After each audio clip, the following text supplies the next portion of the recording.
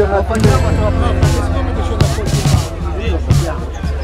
Bene, però ci abbiamo tenuto a far sì che il 25 aprile anche da noi ci fosse una manifestazione che andasse incontro a quello che è la bicicletta. E ne partecipa appunto eh, in particolare Lega Ambiente e noi di FIAB, Federazione Italiana Ambiente e Bicicletta anche perché vi faccio un piccolo riassunto del, del fatto che durante, proprio nel, nel periodo eh, antifascista, la bicicletta era considerata eh, molto pericolosa perché andava incontro a far sì che ci fossero delle situazioni molto veloci per cui di attacco e eh, questa conseguenza ha portato a far sì che ci siano proprio dei, dei documenti che andavano incontro a far sì che non si potesse adoperare la bicicletta.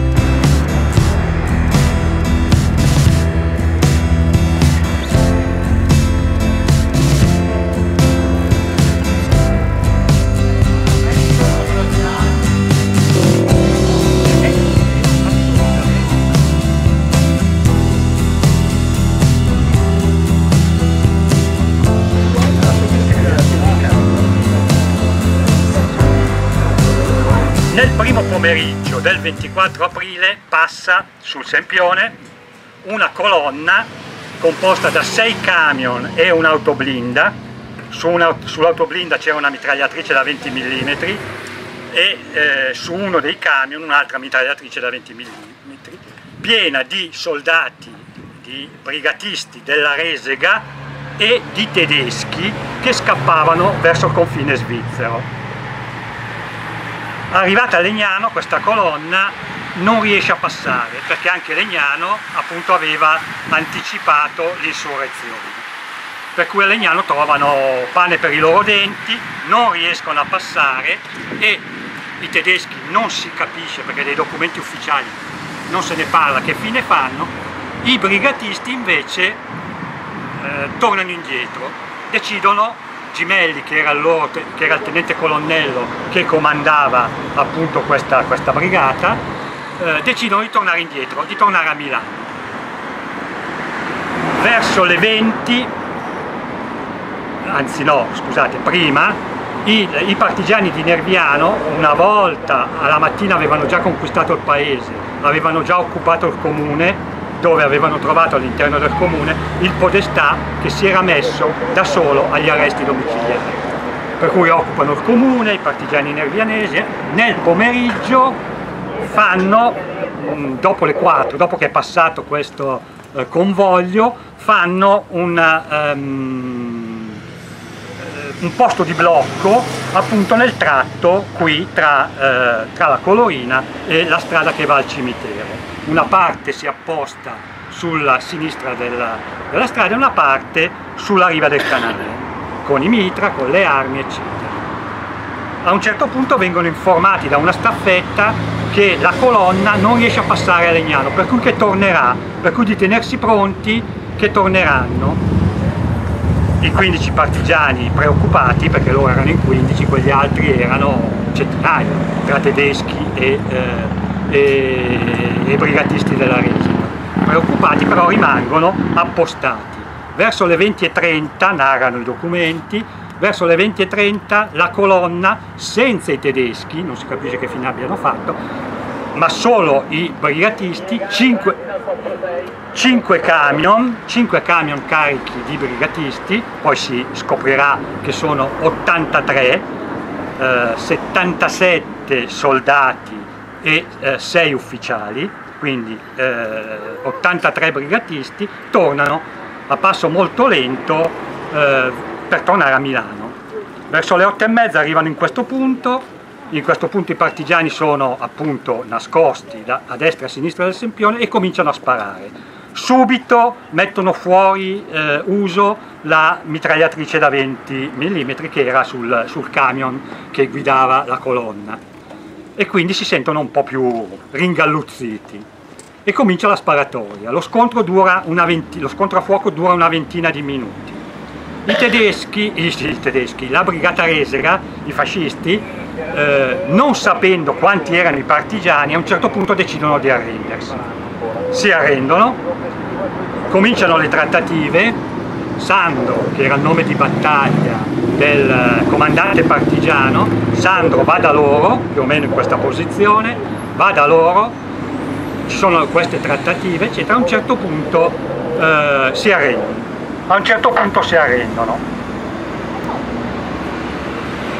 Il comandante Gimelli, peraltro ricercato dal Comitato Liberazione Altritalia come bandito, come criminale di guerra, il comandante eh, fa scendere tutti gli uomini dei camion, questi vengono ovviamente messi provvisoriamente in, una, in un capannone qui più avanti, eh, 83 eh, persone. Il comandante quando si rende conto che i partigiani erano solo 15, sbotta, così ci racconta il partigiano Gimelli, sbotta dicendo se sapevo che eravate così in pochi vi avrei uccisi tutti e avrei messo a ferro e fuoco il paese, cioè Nerviano. chilometri,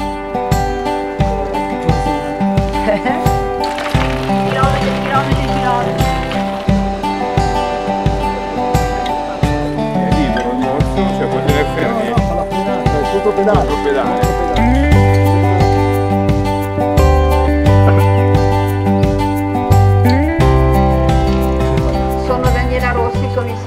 San Vittorio Lona e sono qui oggi ad accogliervi perché è un momento importante, riteniamo giusto sottolinearlo, dato che questa mattina già ci siamo fermati in questo posto che è anche un simbolo per, non solo per San Vittorio Lona ma un po' per tutto quello che eh, contiene il 25 aprile perché come sapete, come sicuramente poi verrà spiegato anche magari in modo sintetico da chi parlerà dopo di me, eh, qui sono stati fucilati due, due, martiri della resistenza, due figure anche molto importanti a livello storico per quello che hanno fatto. Quindi noi abbiamo aderito al percorso di ricordo della resistenza ponendo oggi una targa minimamente esplicativa di chi furono Pietro Bruzzi e Leopoldo Bozzi. Quindi eh, volevo solo ringraziarvi per esservi fermati qui a testimoniare diciamo, questa, questa importante presenza che c'è stata sul nostro territorio ma che continua ad esserci perché questa mattina quando si cantava l'inno d'Italia e come tutti sapete a un certo punto si dice sono pronto alla morte, sono pronto alla morte, a me veniva in mente che effettivamente tanta gente in quegli anni non solo l'ha detto sono pronto alla morte, ma l'ha anche fatto. E quindi davvero onore a tutti loro e cerchiamo di fare, come dire, di curare bene quello che loro ci hanno tramandato, la giustizia, l'uguaglianza, il coraggio e la libertà. Ecco, grazie.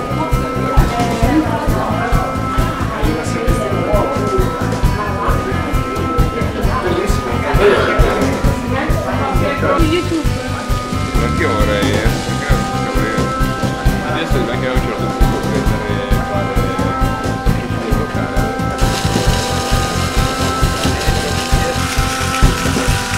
Il brano è intitolato Il pacco, novembre del 44.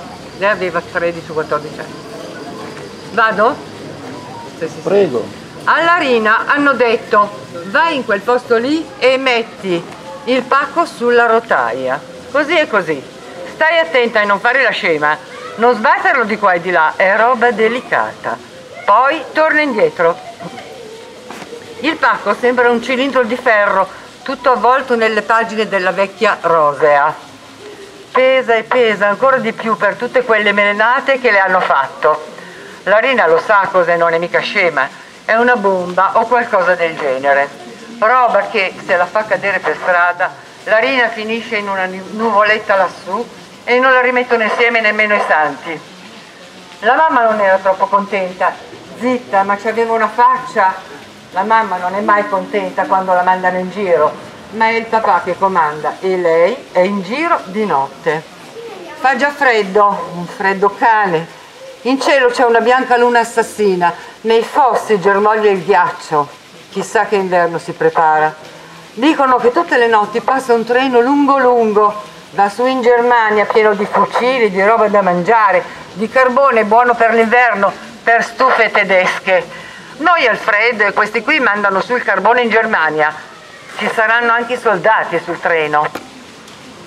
In giro, al buio, sotto la luna gelata, Rina cammina svelta verso il girabacchino di San Giorgio, con il suo bambino di ferro fra le braccia, ragazzina precoce. Il freddo le viene su dalle gambe nude e perfora la giacca di lanetta. Il freddo viene su dai fossi. Il freddo arriva dal pacco. Speriamo che nessuno mi fermi. Cammina, porca vacca. Fascisti, ganeminga, al calduccio, barboni. Il mondo è vuoto, se potesse, fischierebbe per farsi compagnia. Se potesse griderebbe, sono la Rina, se sentite un botto e non mi vedete più, guardate in cielo, la Rina è volata lassù, addio. Il buio è sceso presto e nell'aria c'è odore acre di legna scarsa, c'è chi caccia nel camino le cassette della verdura. La strada la sale lentamente verso la ferrovia, gli occhi delle case sono chiuse, Pippo oggi girava in cielo e tutti rispettano l'oscuramento, se no passano gli americani e buttano giù l'ira di Dio. Rina ha sonno e sogna il suo letto caldo. Quel pacco pesa come una madonna. Fammi arrivare, fammi arrivare, la ferrovia ecco, odore pesante di metallo, i binari luccicano alla luna, là in fondo, verso Milano, c'è anche casa sua e la mamma che aspetta. Dall'altra parte la ferrovia si perde nella sterpaglia, Legnano. Posa delicatamente il pacco su una rotaia come le hanno spiegato, adagiato nell'incavo interno all'incrocio con una traversina. Controlla piano che sia incastrato bene e non si muova. Il bambino è nella sua culla. Il pacco quasi non si distingue più nel buio rugginoso. Tira un gran respiro, si accorge di essere sudata e di colpo tutto l'inverno le finisce addosso. Mi prenderò qualcosa. Le viene da tossire e si trattiene. Torna giù di corsa, finalmente libera dal pacco, sobbalza il rumore dei ciottoli e si volta. I piedi quasi non le sente più, che freddo. Passa dalla cascina e una finestra spalan- spalanca la sua luce fioca sulla strada. Si sente uno sciacquone, la brace di una sigaretta brilla nella notte Dio santo cosa ho fatto? To, passa il tornello e vola, scivola come un'ombra tra le case, passa davanti alla caserma del fascio. Nemmeno un piantone, saranno in giro a tormentare la povera gente. A casa, la mamma aspetta in piedi dietro la porta con le braccia conserte. Neanche una parola, neanche dirsi com'è andata, non si può. Si infila così com'è nel letto caldo dei suoi fratelli. Si raggomitola per prendere come un dono tutto quell'affrore denso da poveri, esausta, piomba in un torpore immediato e oscuro, manco avesse portato un macigno per cento leghe. Nel sonno la scuote un boato, forse l'ha sognato.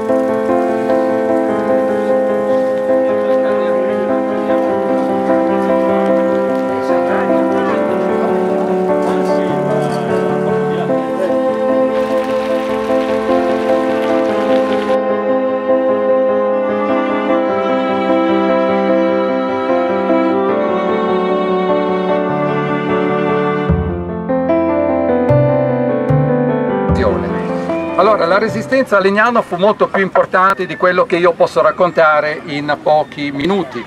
Ricorderei inizialmente i fratelli Venegoni, quattro fratelli Venegoni, impegnati tutti eh, in una lotta che è durata più di vent'anni contro il fascismo. Prima Carlo e Mauro per ragioni anagrafiche e poi Pierino e Guido. Ma per dare l'importanza di Carlo Venegoni Ecco, io ricorderei che è stato tra i fondatori del Partito Comunista d'Italia, quando nacque nel gennaio del 1921 a Livorno e con la, uh, e lui eh, c'era Gramsci, c'era la Bordiga e tanti altri, ecco c'era anche il legnanese Carlo Venegoni, a cui si aggiungerà un paio di anni dopo Mauro Venegoni che poi venne trucidato dai fascisti a Cassano Magnago, fu arrestato, fu riconosciuto, fu picchiato ma violentemente, ma è un eufemismo questo essere picchiato violentemente, finché fu ammazzato e poi buttato in un campo presso Cassano Magnago. Ricorderei gli operai della Franco Tosi e di altre grandi fabbriche di Legnano che scioperarono eh, sia nel 1943 quando l'Italia non era ancora stata invasa dalla Germania e poi scioperarono nelle peggiori condizioni possibili nel 1944, sono i grandi, i grandiosi scioperi del marzo del 1944, pagando spesso con la deportazione nei lager nazisti.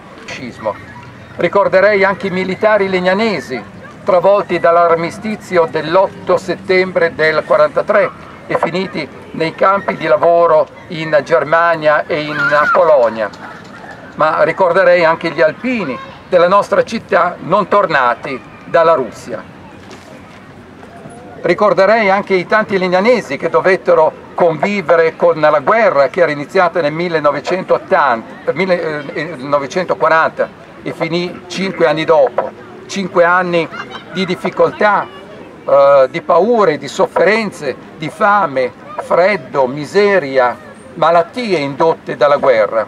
Ma poi ci fu la liberazione del 25 aprile e i partigiani legnanesi combatterono come leoni, senza paura, nonostante il superiore armamento dei tedeschi. destra, destra, destra,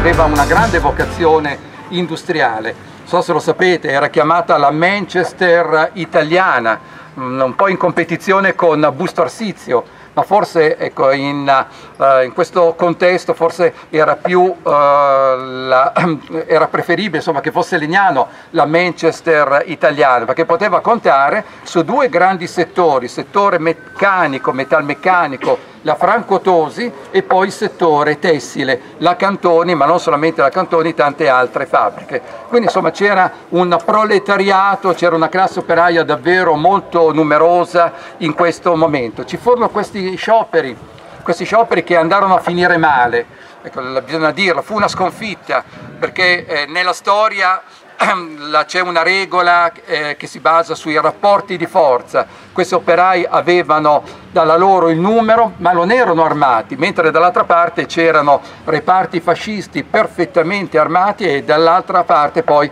un apparato di repressione che era quello dell'SS, era quello appunto la- eh, proposto ecco, dalla, eh, dall'occupazione germanica. Cominciano gli arresti e, e le deportazioni.